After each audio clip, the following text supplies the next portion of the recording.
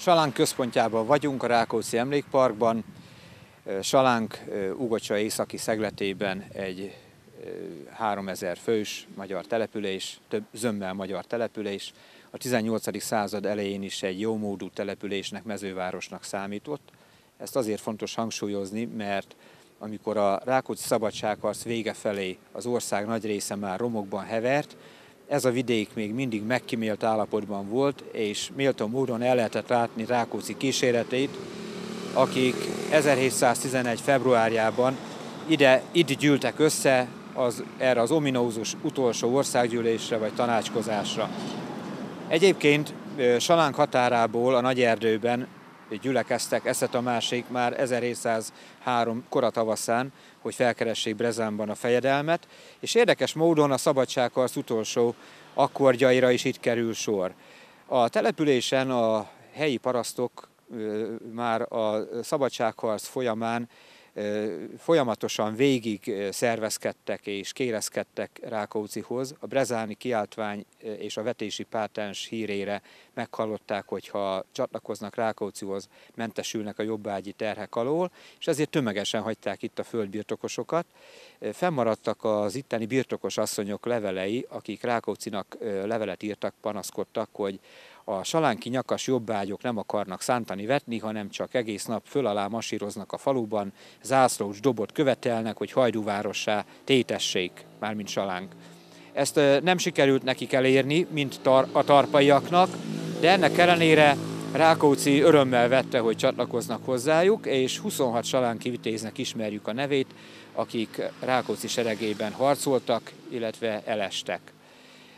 Visszatérve a szabadságharc utolsó akkordjára, 1711. februárjában Rákóczi itt gyűjtötte össze megmaradt tanácsosait, szenátorait, hogy megtárgyalják, hogy mi, le, mi a teendő. Folytassák az ellenállást, esetleg mondjanak igent a császáriak békefeltételeire, vagy zárkózzon Rákóczi be a munkácsi várba, és ott védekezzen az utolsó csepp véréig. Tehát ezeket kellett megválaszolni megtárgyalták a szabadságharc sorsát, Rákóczi megírt néhány levelet, végül úgy döntöttek, hogy nem zárkózik a munkácsi várba, nem is hagyja el az országot azonnal, hanem végérvényesen, hanem Lengyelországba utazik, ahová első Péter orosz szárt várták, hogy megint megpróbáljon tőle segítséget kérni, hát ha sikerül folytatni a harcot. Ideiglenesen tehát a hatalmat átadja Károly Sándornak. Károly Sándorra rábízza, hogy időhúzás céljából folytassa a tárgyalásokat Pálfi János főgenerálissal, a császáriak magyar származású magyar főparancsnokával, aki tehetséges tábornok, magyar ember volt, szimpatizált Károly lányával, tehát eh, minden megvolt ahhoz, hogy eh, lehessen vele tárgyalni. Viszont Rákóczi nem gondolta azt, hogy, hogy végérvényesen békét kötnek és fegyverletételre kerül sor, ő csak ezt időhúzás szempontjából ment ebbe bele.